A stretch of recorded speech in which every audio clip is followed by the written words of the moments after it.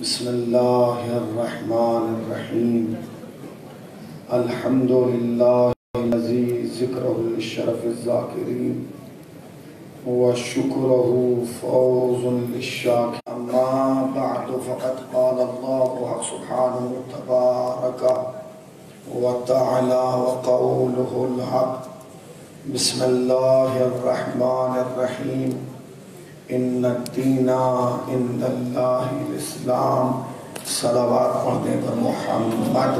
یقیناً یہ ایک انسان کی قدرت اور اس کی ہمت اور اس کے اختیار کے باہر کی بات ہے کہ وہ پورے دن جلوس میں رہے، پھر اس کے بعد پھر پوری رات مشغول ازا رہے، مشغول ماتم رہے، مشغول سینہ زنی رہے اور پھر جب تین بجے مجلس ہو تو ایک چہرے پہ بھی تھکن نظر نہ آئے۔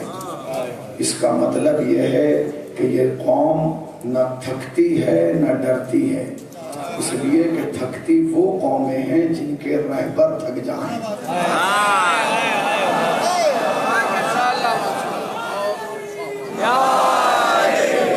تھکتی بکھر کے نمل کے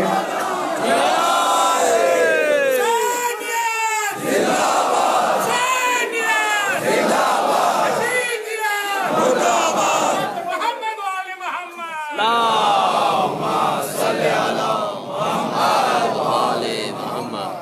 تھکتے وہ ہیں جن کی کے رہبر تھک جائیں تھکتے وہ ہیں جن کے لیڈر تھک جائیں تھکتے وہ ہیں جن کے قائد تھک جائیں۔ الحمدللہ ہم نے نہ غیبت کے زمانے میں کسی تھکے ہوئے کا دامن پکڑا تھا۔ نبوت کے زمانے میں کسی تھکے ہوئے کا دامن پکڑا ہے۔ ہم نے جب بھی پکڑا ایسوں کا دامن پکڑا جن کا چہرہ دیکھ کر عیسیٰ کی تھکان اترنے والی ہے۔ بہت ہی اہم مجمع ہے یہ مجلسیں ان مجلسوں سے جدا ہوتی ہیں کہ جو امام بارگاہوں میں ہوتی ہیں۔ یقین جانیے امام بارگاہ میں تیار کیا جاتا ہے چوراہے پہ دکھایا جاتا ہے۔ امام بارگاہ میں تیار کیا جاتا ہے اور باہر دکھایا جاتا ہے۔ امام بارگاہ کی مجلس میں اور چوراہے کی مجلس میں فرق یہ ہے کہ امام بارگاہ میں علی کا چاہنے والا آتا ہے۔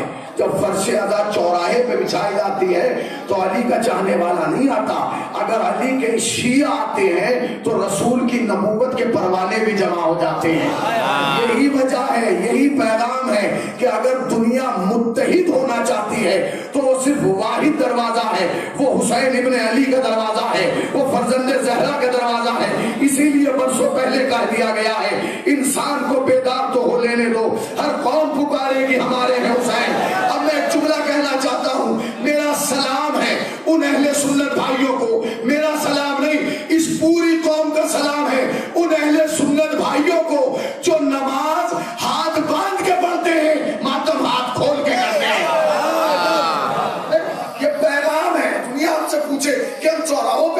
پہ یہ پاگل ہے یہ دیوانی قوم ہے۔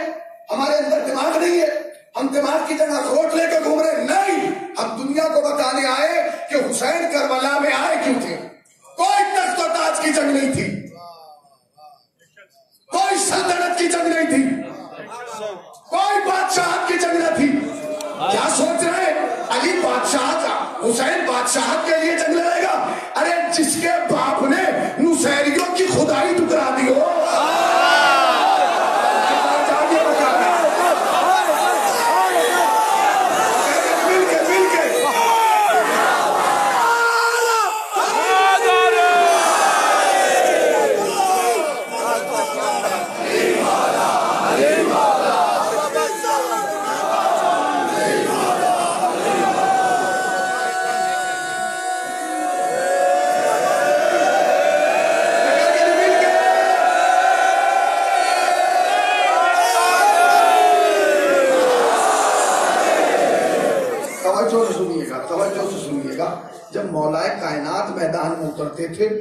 نعرہ تکبیر لگاتے تھے۔ زمانہ بدلا تو نعرہ رسالت لگنے لگا۔ اب جب ہماری مجلسیں ہو رہی ہیں تو علی کا نعرہ لگ رہا۔ کسی نے پوچھا اللہ کا نعرہ علی لگاتے تھے؟ تم اللہ کا نعرہ کیوں نہیں لگاتے؟ ہم نے کہا ہم ترتیب سے لگاتے ہیں۔ پہلے کہتے ہیں نعرہ تکبیر پھر کہتے ہیں نعرہ رسالت پھر کہتے ہیں نعرہ حیدری۔ یہ نعرے نہیں لگ رہے یہ کلمہ پڑھا جا رہا ہے۔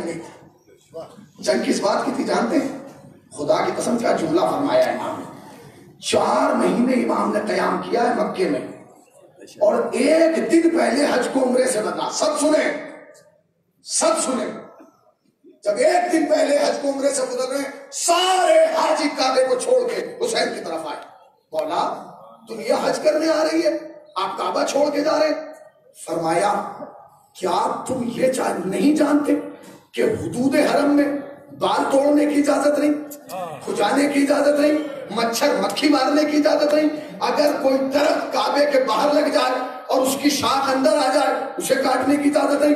فرمایا مولا یہ تو عام مسئلہ ہے۔ جب آدمی احرام باندھ لیتا ہے تو سب چیزیں حرام ہو جاتی ہیں۔ فرمایا جب تم امت ہو کے جانتے ہو کیا میں امام ہو کے نہیں جانتا؟ دنیا سنے حسین نے کیوں حج کو عمرے سے بدلا؟ فرمایا مولا کہنا کیا چاہتے کہ جس حرم میں مچھر مکھی مارنے کی اجازت نہیں کیا تم یہ چاہتے ہو کہ حسین کے خون سے وہ زمین رنگی ہو؟ سلمان حسین سے کل بھی محبت کرتا تھا، آج بھی محبت کرتا۔ ہے اور جو حسین سے محبت نہ کرے، وہ سب کچھ ہو سکتا ہے، مسلمان نہیں ہو سکتا۔ جو حسین سے محبت نہ کرے، وہ سب کچھ ہو سکتا ہے، مسلمان نہیں ہو سکتا۔ فرمایا فرزند زہرا، آپ کہنا کیا چاہتے ہیں؟ ایک دن پہلے۔ میرے مسلمان بھائی سنے ایک دن پہلے۔ پوری دنیا حج کرنے جا رہی ہے، کعبے کی طرف، اور حسین کعبہ چھوڑ رہے ہیں کیا فرمایا؟ کہا کہ نہیں تم جانتے ہو کہاں مولا؟ کہا تو کیا یہ اچھا لگے گا کہ میرے خون سے زمین کعبہ رنگین ہو؟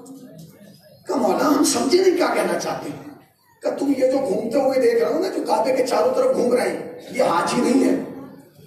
اس کا مطلب حسین نے اس روز ہمیں بتایا کہ ہر سفید لباس پہننے والا حاجی نہیں ہوتا۔ ہر سفید لباس پہننے والا حاجی نہیں ہوتا۔ کہ مولا پھر کہ ان کے احرام ہٹاؤ تو خنجر پاؤ گے۔ مولا خنجر، یہ خنجر لے کے کیوں کعبے میں آئے؟ کہ مجھے قتل کرنے کے لیے۔ سنیے، رجب کی تیئیس تاریخ میں یزید تخت پہ بیٹھا تھا۔ رجب کی اور ذلحج کی آٹھ کو حسین یہ کہہ رہے ہیں۔ ابھی لوگوں کو پتہ ہی نہیں تھا کہ یزید ہے کیا۔ اس کی حقیقت کیا ہے؟ اس کی اصلیت کیا ہے؟ اس کا کردار کیا ہے؟ اس کی کیفیت کیا ہے؟ اس کی صورت کیا ہے؟ لوگ اسے امیر المومنین مانتے تھے لوگ اسے خلیفت المسلمین مانتے تھے لوگ اسے اپنا لیڈر مانتے تھے لوگ اسے اپنا قائد مانتے تھے۔ انہوں نے کہا کہ مولا یہ آپ کو کیوں قتل کرنا چاہتے؟ ہیں حسین نے کہا یہ نہیں قتل کرنا چاہتے۔ پھر ان کے ذریعے کوئی کرانا چاہتا ہے؟ کہا کون؟ کہا یزید۔ لوگوں نے کہا یزید وہ تو مسلمانوں کا امیر بنا بیٹھا۔ پورا مجمع جمع ہے علی کا لال یہ بیان کر رہا ہے۔ ہجوم۔ لوگ کعبہ چھوڑ کے حسین کی بات سنا ہے خدا کی قسم کیا وجہ بیان کی حسین نے؟ فرمایا کہ مولا وہ آپ کو کیوں قتل کرنا چاہتا ہے؟ کیا جواب دیا؟ کہنے لگے، میرا کوئی پراپرٹی کا جھگڑا نہیں ہے۔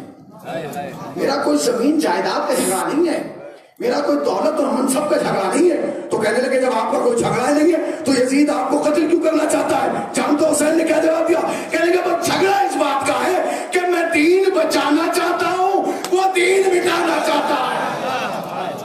میں قرآن بچانا چاہتا ہوں، وہ قرآن مٹانا چاہتا ہے۔ میں شریعت محمدی بچانا چاہتا ہوں، وہ شریعت محمدی مٹانا چاہتا ہے۔ جانتے آپ، نبی کے اس دنیا سے جانے کے بعد، سنیں مسلمان میری بات ہمارے نبی نے گیارہ ہجری میں اس دنیا سے پردہ کیا۔ گیارہ ہجری۔ بس فرق ہے ڈیٹ کا۔ ہم کہتے ہیں نبی سترہ کو آیا اٹھائیس کو گیا۔ مسلمان کہتے ہیں نبی آیا بھی بارہ کو۔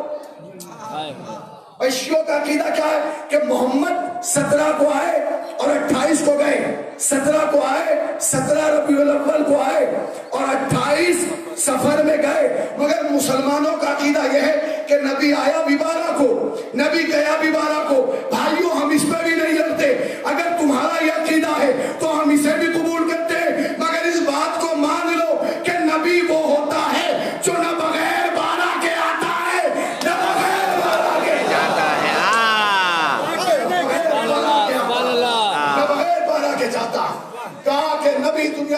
کیا؟ گیارہ ہجری میں۔ گیارہ ہجری میں نبی نے پردہ کیا۔ اکسٹھ ہجری میں کربلا ہوئی۔ پورے پچاس سال کے بعد اگر آج تم نے اس تقریر کو نہ سنا نا تو کل جب چوراہے پہ اترو گے تو یہ نہیں بتا پاؤ گے کہ ہم آئے کیوں ہیں۔ کیوں آئے؟ پچاس سال کے بعد نسل بدل جاتی ہے؟ جو بچہ یہاں آج بیٹھا ہے، پچاس سال بعد وہ بوڑھا بن کے بیٹھا ہوگا۔ نسل بدل بدل جاتی ہے، کیفیت بدل جاتی ہے، صورت بدل جاتی ہے، شکل بدل جاتی ہے۔ حسین نے پچاس سال کے بعد یہ ممبر پہ آئے۔ کیا اعلان کیا؟ سنو گے؟ سنو۔ خالی اسلام کے خلاف نہیں بولا۔ خالی شریعت کے خلاف نہیں بولا۔ خالی قرآن کے خلاف خلاف نہیں بولا۔ خالی کتاب کے خلاف نہیں، انسانیت کے خلاف بولا۔ سنے کیا بولا؟ اس نے کہا کوئی شریعت نہیں آئی. یہ یزید کا آن دا ریکارڈ جملہ کوئی شریعت نہیں آئی۔ کوئی دین نہیں آیا۔ کوئی کتاب نہیں آئی۔ کوئی وحی نہیں آئی۔ کوئی رسول نہیں آیا. یہ جملہ یزید کا۔ کوئی رسول نہیں آیا۔ اب شرم کا مقام یہ ہے کہ یزید کہہ رہا ہے کہ کوئی رسول نہیں آیا اور رسول کا کلمہ کہہ پڑھنے والے کہہ رہے ہیں کہ یزید رضی اللہ ہے۔ یہ طے کیا جائے نا کہ تم حسین کی طرف ہو یا یزید کی طرف؟ تم رسول کی طرف ہو یا یزید کی طرف اس نے کہا، کوئی شریعت نہیں آئی سن لیا آپ نے جملہ؟ بڑی آہستہ سے سنا، بڑی خاموشی سے سنا، جذبات پر قابو رکھ کے سکوت کر کے تمہاری خاموشی کو سلام، تمہاری سنجیدگی کو سلام، تمہارے وجود کو سلام، تمہارے لباس کو سلام، تمہاری سماعتوں کو سلام۔ مگر اب سننا جو یزید نے بلا جملہ کہا، یزید نے کہا، کوئی دین نہیں، کوئی شریعت نہیں، کوئی رسول نہیں، کوئی احکام نہیں، کوئی فرو نہیں، کوئی چھڑائی بات نہیں ختم ہو گئی۔ نہیں۔ اب تو وہ بات کہی جو درندگی سے آگے بڑھ گئی اس نے خالی یہ نہیں کہا کہ کوئی دین کوئی شریعت کوئی کچھ۔ آگے کا جملہ سنو۔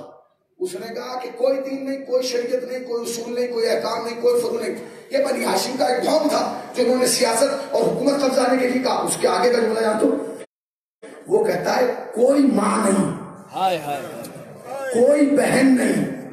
کوئی پھوپھی نہیں، کوئی خالہ نہیں، کوئی بھانجی نہیں، کوئی بھتیجی نہیں، کوئی دودھ پلانے والی دائی نہیں۔ عورت صرف ایک عورت ہے۔ سمجھا؟ یزید کیا کہنا چاہتا ہے؟ یعنی اسلام نے جو قانون دیا تھا، اسلام نے انسان کو کیا پیغام دیا؟ اسلام نے کہا، سن، یاد رکھے انسان، تیرے اندر شہوت تو رکھی گئی ہے، مگر اتنی عقل بھی دی گئی ہے کہ جب شہوت تجھے محتاج کرے اور تو صرف نازک کو دیکھے تو جب اس کو دیکھے تو ذہن میں خیال آئے یہ ماں ہے۔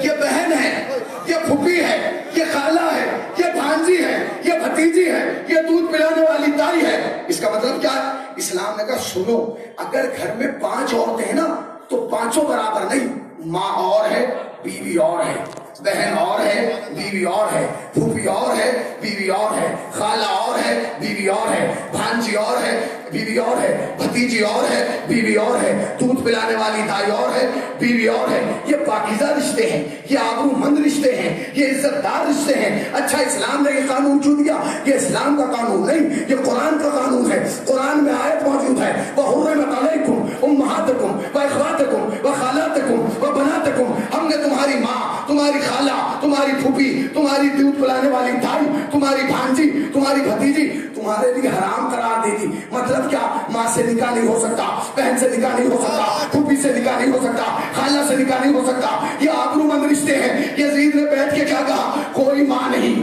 کوئی پھوپھی نہیں، کوئی خالہ نہیں، کوئی بھانجی نہیں، کوئی بھتیجی نہیں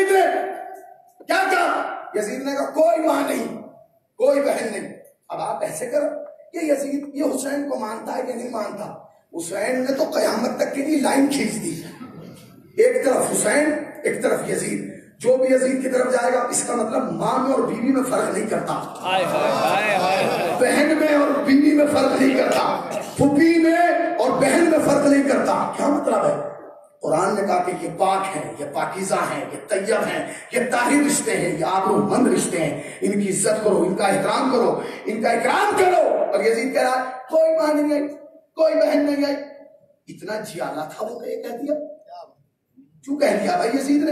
کیا اسے ڈر نہیں لگتا تھا؟ ڈر لگتا تھا۔ ایک تو جملہ ہمارے یہاں ممبر سے یہ خلاف بولا جاتا ہے، غلط۔ پرسوں سے بولا جا رہا ہے۔ اور یہی بولتے ہیں ہم کہ یزید حسین کو گھیر کے کربلا لے آیا۔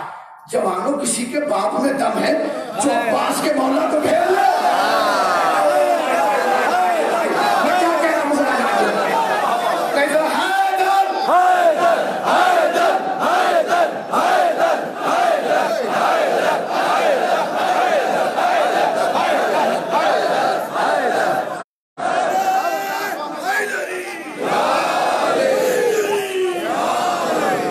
یہ جملہ بیان کیا جاتا ہے یزید گھیر لایا حسین کو کسی کے باپ میں دم تھا جو زہرا کے لال کو گھیرتا۔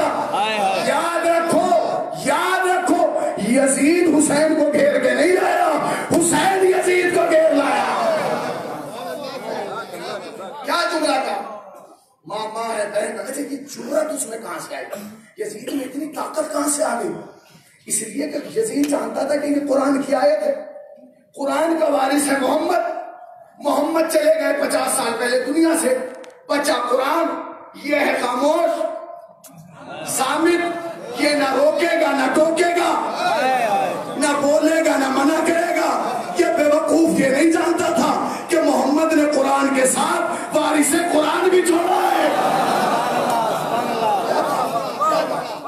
پیغمبر نے کیا فرمایا؟ انی تارکم فیکم الثقلین کتاب اللہ و اطاعتی۔ میں تمہارے درمیان دو چیزیں چھوڑ کے جا رہا ہوں۔ دو اب بہت سارے لوگ یہ کہتے ہیں ہم تو ایک کو مانیں گے دو کو نہیں مانیں گے قرآن کو مانیں گے اہل بیت کو نہیں۔ اگر ایک کو ماننا ہے تو ایک ٹانگ پہ چلیں۔ اگر ایک کو ماننا ہے تو ایک آنکھ سے دیکھ۔ اگر ایک کو ماننا ہے تو ایک کام سے سن۔ اگر ایک کو ماننا ہے تو ایک ہاتھ سے کا مدد لے۔ ارے، اللہ نے تو تجھے ڈبل ڈبل کا محتاج بنایا۔ چلے گا تو دو پیروں سے، دیکھے گا تو دو آنکھوں سے، سنے گا تو دو کانوں سے۔ حد ہو گئی، غدیر میں بھی اکیلے علی کو ممبر میں نہیں بھیجا، دو کو بھیجا۔ محمد، ایک علی۔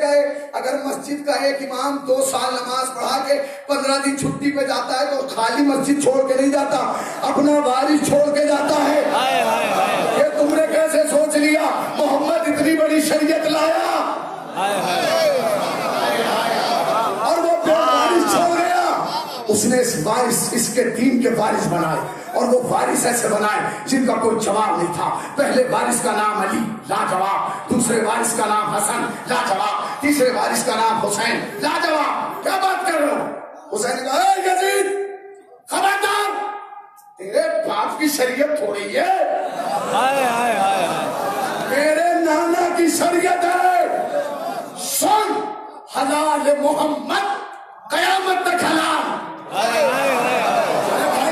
کے بتا حلال محمد قیامت تک حرام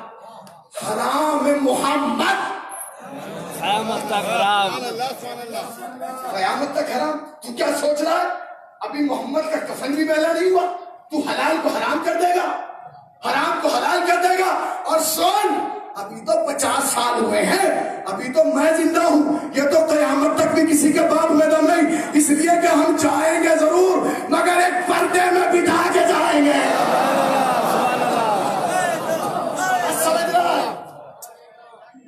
یہ شریعت کوئی مذاق ہے؟ ہو گیا جی لوگ کا اب جملہ کو ماشتا ہے؟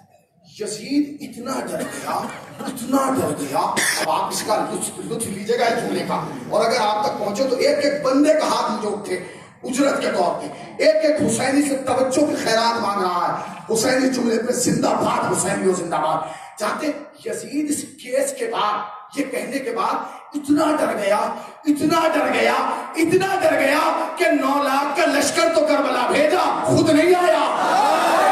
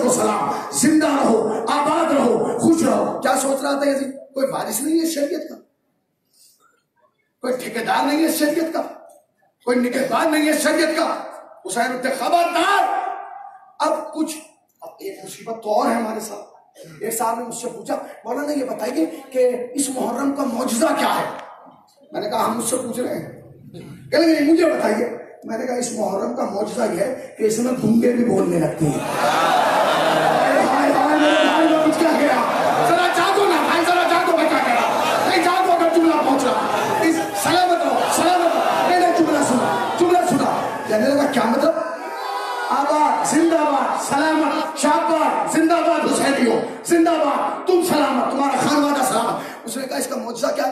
میں نے کہا اس محرم کا موجزہ ہے۔ اس محرم کا موجزہ ہے کہ جو کبھی نہیں بولتا، وہ گنگا بھی بولنے لگتا ہے۔ کہنے لگا، میں سمجھا نہیں۔ میں نے کہا، اپنی مسجد میں جا کے دیکھ لے، پورے سال مفتی چپ رہتا ہے۔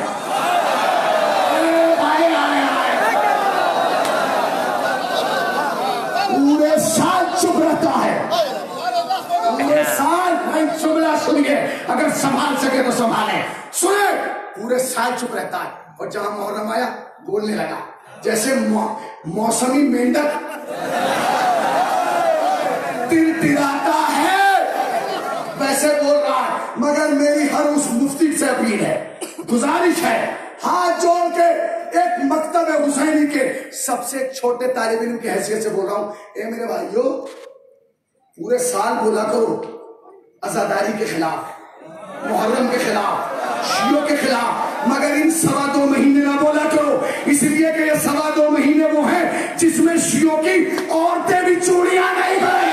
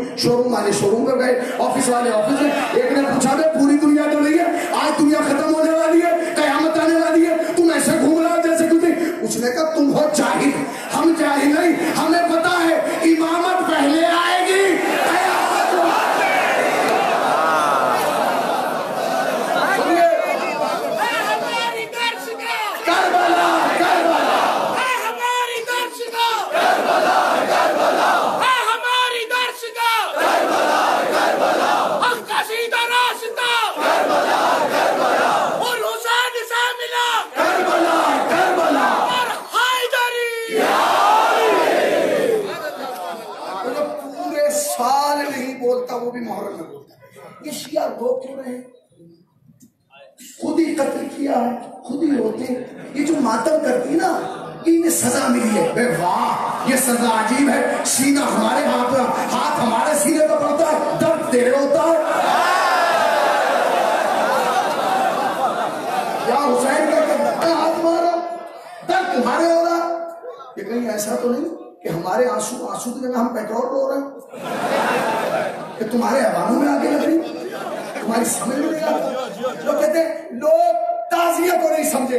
ارے چھوڑو، جو آج تک گمبد خزرا کو نہ سمجھے ہو۔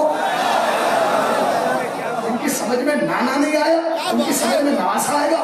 جو اجوا کی کھجور کو نہ سمجھو، وہ تبرک حسین کو سمجھیں گے جو زمزم کے پانی کو نہ سمجھو وہ سبیل حسین کو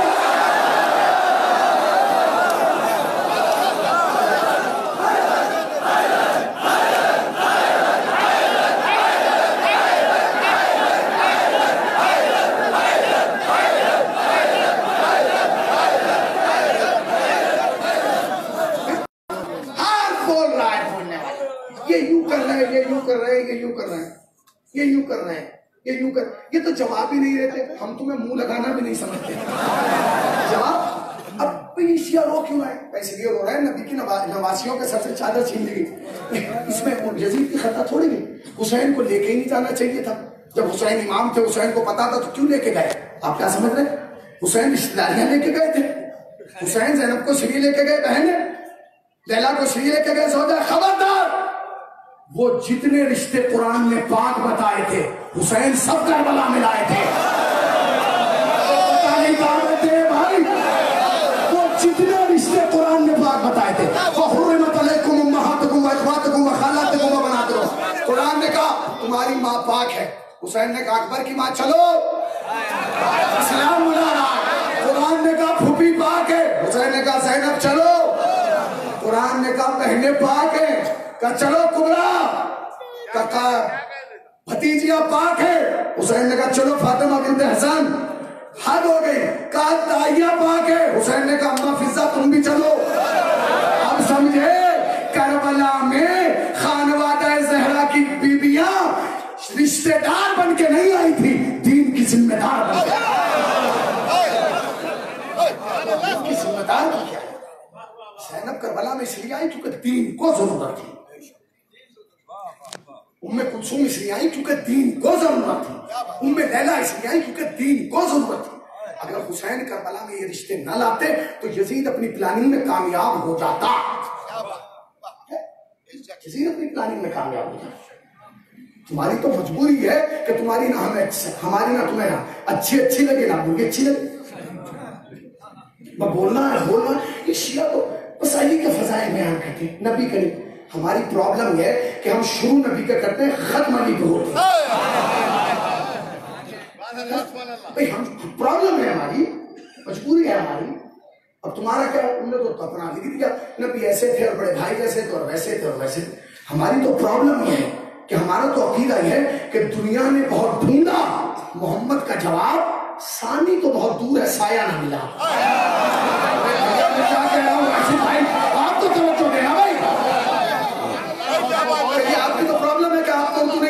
مگر میں سمجھا کے جاؤں گا۔ اس لیے کہ ذکر علی جی، زبانوں کا محتاج نہیں ہوتا، نسل کا محتاج ہوتا ہے۔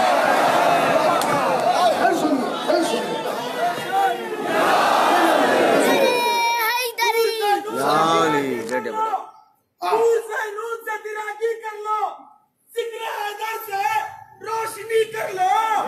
جی رہے ہو مگر حب علی کے اس سے بہتر ہے کہ خودکشی کر لو۔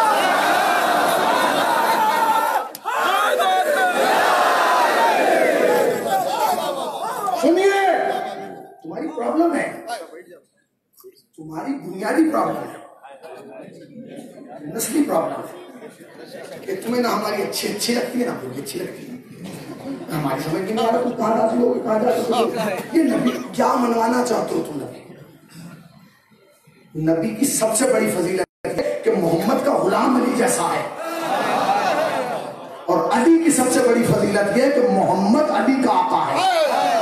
کیا بات کر ہماری پرابلم ہے مجبوری ہے۔ اس لیے کہ ہم نے ادھوری کتابیں نہیں پڑھی۔ ہاں اگر ہم نے حسین و منی پڑھا ہے تو وانا من الحسین بھی پڑھا ہے۔ اگر ہم نے آنا والی منور الوائی پڑھا ہے تو ادھر کا بھی پڑھا ہے۔ ہماری پرابلم ہے۔ آپ کہتے ہیں کہ شیعہ نبی کو نہیں مانتے۔ ہم سے زیادہ تم نبی کے فضیلے جانو گے۔ مگر ہماری پرابلم ہے۔ وہ ہماری بنیادی پرابلم ہے کہ ہم جب نبی کی فضیلت بیان کرتے ہیں اور نبی کی بلندی بیان کرتے ہیں، شروع نبی سے کرتے ہیں، ختم جا کے علی کو ہوتی ہے کہ نبی کتنے بلند تھے؟ یہاں علی کتنے بلند تھے؟ بتاؤں کتنے بلند تھے نبی؟ سننا چاہتے ہیں کتنے بلند تھے؟ سنیے۔ سب سے نیچے پانی۔ پانی نیچے، زمین اوپر۔ زمین نیچے، کعبہ اوپر۔ کعبہ نیچے، دیوار کعبہ اوپر۔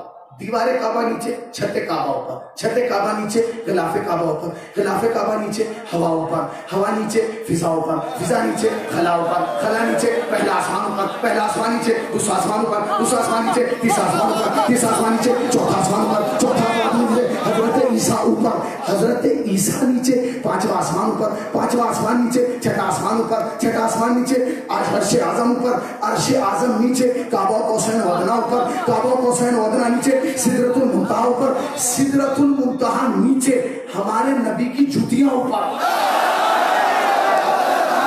بھائی میں کیا پھر سنیں، پھر سنیں، پھر سنیں، نہیں ایسے نہیں ایسے نہیں۔ بالکل نہیں۔ نہ، ایسے تھوڑے جب تک مجمع گھٹنوں پہ کھڑے ہو کے حیدر حیدر نہیں بولے، پڑھنے کا فائدہ نہیں۔ میں نے معصومہ قم کے دروازے سے خیرات نہیں مانگی۔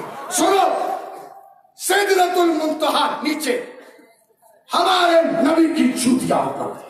نبی کی جوتیاں نیچے۔ نبی کے تلوے اوپر نبی کے تلوے نیچے میری طرف دیکھیں میری طرف دیکھیں میری طرف دیکھیں نبی کی جوتیاں نیچے نبی کے تلوے اوپر نبی کے تلوے نیچے نبی کے ٹخنے اوپر نبی کے ٹخنے نیچے نبی کی پنڈلی اوپر نبی کی پنڈلی نیچے نبی کا گھٹنا اوپر نبی کا گھٹنا نیچے نبی کی ران اوپر نبی کی ران نیچے نبی کا شکم اوپر نبی کا شکم نیچے نبی کا سینہ اوپر نبی کا سینہ نیچے نبی کا دوش اوپر نبی کا دوش نیچے مہر نبوت اوپر مہر نبوت نیچے علی کے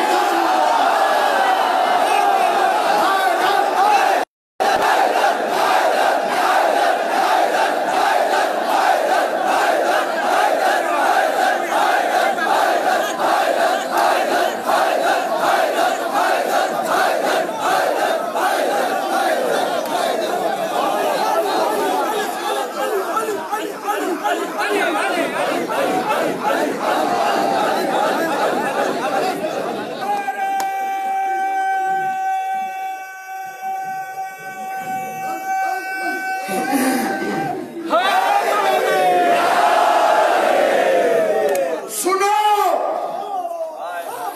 نبی کو علی سے کتنی محبت تھی جب دوش مصطفیٰ بیٹھے کھڑے ہوئے تو بڑے بھائی کو جوش آ گیا۔ تو بڑے بھائی نے چھوٹے بھائی سے پوچھا، میری جان، میری شان کلے ایمان، مرد میدان، اسلام کی پہچان، محافظ قرآن، مرد میدان، فاتح خیبر، فاتح خندق، فاتح بدر، فاتح حنین۔ علی، یہ تو بتاؤ، کیسا محسوس کر رہے ہو؟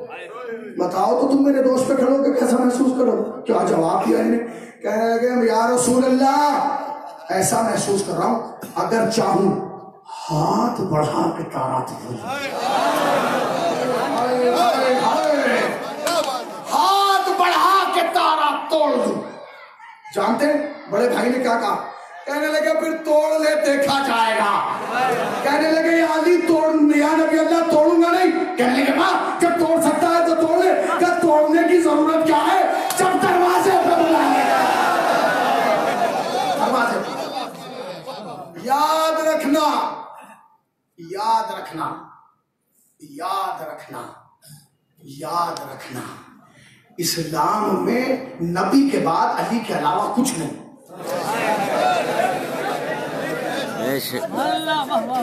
اسلام میں آپ کہتے ہیں جملہ سنیے، مولانا مودودی کا جملہ سنیے۔ مولانا مودودی عالم اہل سنت کے بہت بڑے عالم ہیں۔ ان سے ایک آگے پوچھا حضور، میرا ایک سوال مگر جلدی پوچھو۔ کہ یہ بتائیے کہ جب سب نے یزید کی بیعت کر لی، حسین نے کیوں نہیں کی؟ انہوں نے کہا تو باولا ہو رہا، بے وقوف ہو رہا، پاگل ہو رہا ہے اپنا دماغ کا چیک اپ کرا کے۔ کیا بے سوال کر رہا ہے کہ جب سب نے بیعت کر لی تو حسین نے کیوں کی؟ سوال یوں کر کہ جب حسین نے نہیں کی تو لوگوں نے کیوں کر لی؟ آج کیا ہے؟ شب جمعہ ہے۔ شب جمعہ، شب دعا، شب مغفرت، شب رحمت۔ آج کے دن دعائیں قبول ہوتی ہیں، مگر ہم نہیں مان سکتے۔ آج آپ ایک زیارت پڑھیں۔ گے السلام علیکم یا وارث آدم صفت اللہ نوح نبی اللہ ابراہیم خلیل اللہ موسیٰ کریم اللہ، عیسیٰ روح اللہ، محمد الحبیب اللہ۔ اس کا مطلب سمجھتے ہیں؟ اس کے معنی جانتے ہیں؟ جانتے ہیں۔ آپ نہیں جانتے، ہم بھی نہیں جانتے۔ یزید بخوبی جانتا تھا۔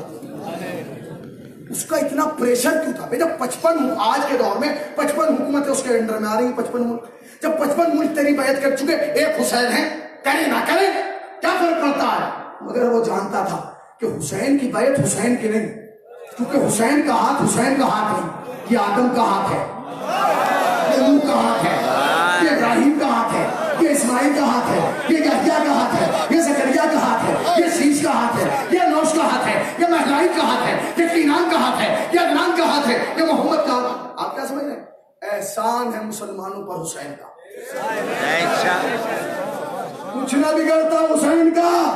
ایک ہاں کہتے مگر ایک بات بتاؤں، حسین کا کچھ نہ بگڑتا اور اسلام کا کچھ نہ بچتا۔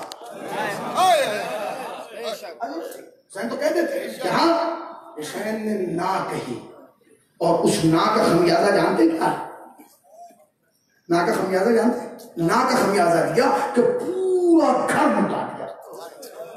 پورا گھر۔ بڑی آسانی سے کہہ دیا جاتا ہے۔ جہاد جہاد۔ جانتے ہو جہاد کیسے کہتے ہیں؟ اسلام کی راہ میں قربانی کیسے دی جاتی ہے؟ جانتے ہو؟ جانتے ہو؟ ایسے دی جاتی ہے جیسے حسین نے دی۔ اگر کائنات میں حسین نہ ہوتا تو نظام کائنات بگڑ جاتا۔ تو حسین کی حکمت تھی۔ بھائی صاحب، احسان ہے۔ چھوڑ دیجیے اسلام کو، بھائی صاحب، انسانیت کا احسان ہے۔ یہ جملہ کہہ دوں، یہ جو پوری دنیا کھا رہی ہے نا، کھا۔ یہ رزق حسین کا صدقہ ہے۔ ہاتھ ہو گئی؟ یہ جو پانی پی رہے ہو نا حسین کا صدقہ آپ کیا کہہ رہے ہیں؟ سنیے، میں بتاؤں گا آپ کو کیا صدقہ؟ سنیے، جب علی اصغر کی شہادت ہو گئی تو خون حسین کی چلو میں تھا۔ سب مخاطر میں لکھا۔ کہ حسین نے زمین کی طرف پھینکنا چاہا تو کیا آواز ہے اگر ایک قطرہ زمین پہ گر گیا، قیامت تک دانا نہ ہوگا اور خدا کی قسم نہ اگتا۔ آسمان کی طرف پھینکنا چاہا۔ اے حسین، اگر ایک قطرہ آسمان کی طرف آ گیا قیامت تک پانی نہیں آئے گا۔ آؤ دنیا والو، آؤ، چھوڑو مسلمانوں پوری دنیا آئے کربلا میں اور دیکھے اثر عاشور حسین اصغر کا خون لے کے نہیں کھڑے۔ کائنات کا رزق لے جب پوری دنیا مل کے علی اصغر کا جواب نہیں لا سکتی، علی کا جواب لاؤ گے، حسن کا جواب لاؤ گے، حسین کا جواب لاؤ گے۔ یہ وہ خان وعدہ ہے جس نے سب کچھ لٹا دیا۔ آج جتنی مسجدوں میں مناروں سے آواز آ رہی نا، اللہ اکبر! یہ احسان ہے حسین کے یہ جو ہماری مائیں بہنیں چادر اوڑھ کے گھوم رہی ہیں نا، یہ احسان ہے حسین۔ یہ جو آج بھائی بھائی کو بھائی کہہ رہا ہے، یہ احسان ہے حسین کے عباس یہ جو آج دوست دوست کو دوست سمجھ رہا یہ احسان ہے حبیب بن مذاہب حسین کربلا میں سارے کردار جمع کرنا ایک دوست کو کیسا ہونا چاہیے، حبیب بتائے گا۔ ایک جوان کو کیسا ہونا چاہیے اکبر بتائے گا؟ ایک غلام کو کیسا ہونا چاہیے جون بتائے گا؟ ایک مہمان کو کیسا ہونا چاہیے خود بتائے گا؟ اور ایک آقا کو کیسا ہونا چاہیے وہ حسین بتائے گا۔ کائنات کانپ رہی تھی حسین کے سامنے۔ درس رہے تھے انبیاء۔ حسین، یہ کیا کر رہے ہو؟ زمین ہل رہی ہے۔ ہلنے دو۔ خدا کی قسم، جنات، فرشتے، انبیاء، اولیاء، سب نے آنکھیں بند کر لی تھی جب حسین نے لکھ پر کی پرچی میں سن لیا تم؟ بڑی آسانی سے سن لیا۔ بہت لمبے مسائل نہیں پڑھوں گا۔ مگر جس جوان کے رگوں میں علی اکبر کا صدقہ گونج رہا ہے نا، وہ آج کی رات اپنا ہاتھ نہ روکے۔ اس لیے کہ تم تو آج ماتم کرو گے کل دن میں ماتم کرو گے رات میں شام غریبہ کی مجلس کر کے سو جاؤ گے۔ مگر آل محمد آج کے بعد نہیں سوئے گے۔ یہ آخری رات ہے زینب کے سونے کی۔ آج کے بعد زینب نہیں سوئے گی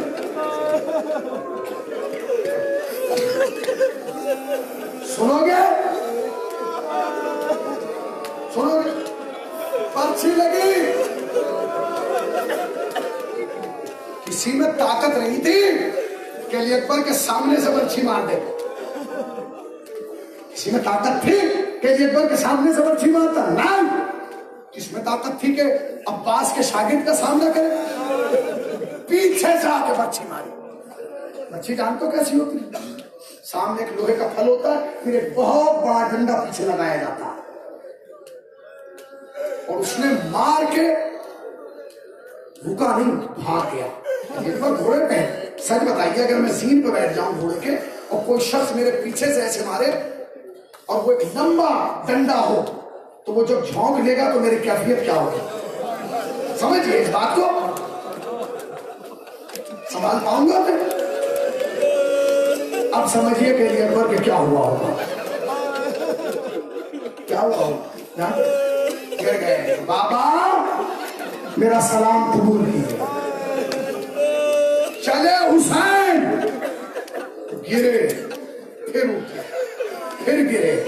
پھر اٹھے جب علی اکبر کے لاشے پر پہنچے نا اللہ اللہ بابا، ظالم آپ کے صبر کا امتحان لینا چاہتا ہے۔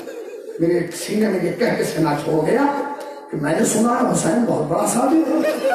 خدا کی قسم، فاطمہ کے لال نے کھتنا زمین کربلا پہ دیکھا۔ میری طرف دیکھنا میری طرف اور دیکھنے کے بعد آستین چڑھائی۔ اور چڑھانے کے بعد علی اکبر کا گریبان چاک کیا۔ اور چاک کرنے کے بعد وہ پرچھی کی انی پکڑی۔ اور پکڑ کے حسین نے ہلائی۔ اور جب ہلائی تو ایک ہاتھ علی اکبر کے سینے پر رکھے کے کہا، علی اکبر، تم کیوں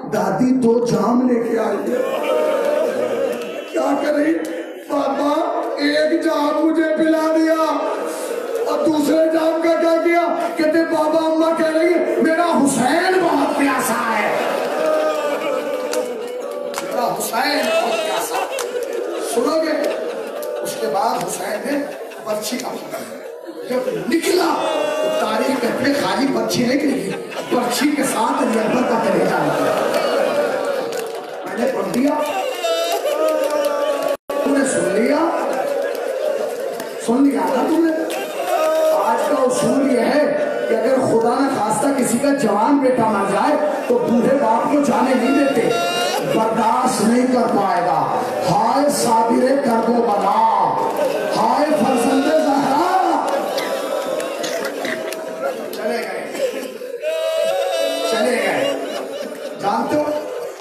خطیب علی محمد کیا بیان کرتے ہیں وہ کہتے ہیں، حسین نے ایک ہاتھ علی اکبر کے سر کے نیچے دیا، دوسرا ہاتھ علی اکبر کی کمر کے ستاون سال کا حسین اٹھارہ برس کا علی اکبر۔ اور یہ کہہ کے اٹھایا، یا علی! پھر رکھ دیا آئے غربت حسین، پھر کہا، یا علی! پھر رکھ دیا۔ اس کے بعد اس سے غربت بنا جملہ حسین کا نہیں ہو سکتا۔ جب دو بار میں حسین اکبر کا لاشا نہیں اٹھا پائے نا، تو خیمے کا رخ کر کے کہا، اے بنی عاصم کے بچوں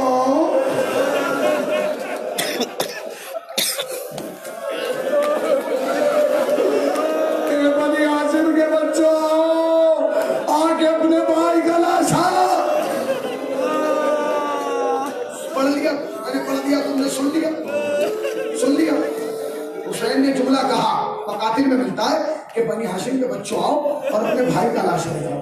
صرف آؤ۔ ایک لمحے کے لیے سوچو، اگر یہاں ایک جنازہ رکھ دیا جائے اور سات سات آٹھ آٹھ سال کے بچوں کو بلایا جائے کہ اسے اٹھاؤ۔ تو کیسے اٹھائیں؟ تم نے سوچا۔ سوچا کبھی تم نے؟ اگر سوچ لیتے تو اسی میں مجلس تمام ہوگا جان تو خطیب علی محمد کہتے ہیں کہ حسین علی اکبر کے سرحانے آئے اور آنے کے بعد ایک ہاتھ علی اکبر کی بغل میں ادھر سے ڈالا، ایک ہاتھ ادھر سے ڈالا، اور یہ کہہ کے اٹھے، یا علی مدار!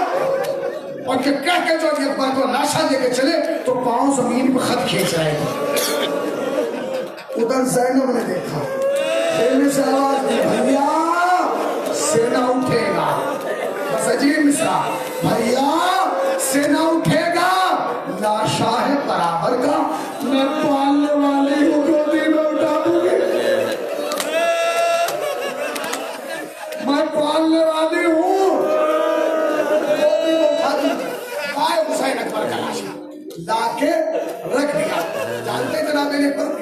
کیا کہا جاتا ام لیلا لیل کہتے ہیں رات کو۔ جناب لیلا کو ام لیلا اس لیے کہا جاتا تھا کیونکہ بال اتنے کالے تھے کہ مثل رات۔ مگر تاریخ کہتی ہے، جب حسین اکبر کا لاشا لائے نا اور رکھا اور سب بیویوں نے ماتوش کرنا شروع کر دیا، تو حسین نے آواز دی، زینب، اے زینب، کہاں بھائی؟ کا سب نظر آ رہے ہیں اکبر کی ماں نظر نہیں آ رہی۔ نہ آپ کیسے سنیں؟ میں تو مسائل پڑھ چکا مجھے میں طاقت بھی نہیں۔ سب نظر آ رہے ہیں علی اکبر کی ماں نظر نہیں آ رہی۔ اب جو جناب زینب پہنچی نا، جناب زینب جناب زینب پہنچی۔ تو کیا دیکھا؟ علی اکبر کی ماں سجدہ شکر میں۔ سجدہ شکر میں۔ اور جا کے جناب زینب نے کہا بھابی لیلا اکبر دولہا بن کے آ گیا۔ اور جیسے ہی سجدے سے سر اٹھایا تو دیکھا کوئی بال بھی کالا نہ تھا۔ سب بال سفید ہو گئے۔ وہ ایک جملہ اور مجلس تمام اٹھی۔ جناب زینب دروازے پہ کھڑی ہے جناب لیلا اٹھی۔ اے پروردگار، میرے فدیے کو قبول کر لے۔ میری قربانی کو قبول کر لے۔ تو نے مجھے زہرا سے شرمندہ نہ ہونے دیا۔ اس کے بعد میں جوانوں سمجھ سکو سمجھ لینا۔ اٹھی اٹھنے کے بعد کبھی خیمے کے کونے میں جاتی، کبھی خیمے کے کونے میں جاتی، کبھی خیمے کے بس سمجھ گئے ہمیں تو ماتم کر لو سینے پہ آگ مار کے کبھی اس کونے میں جاتی ہے، کبھی اس کونے میں، کبھی اس کونے میں۔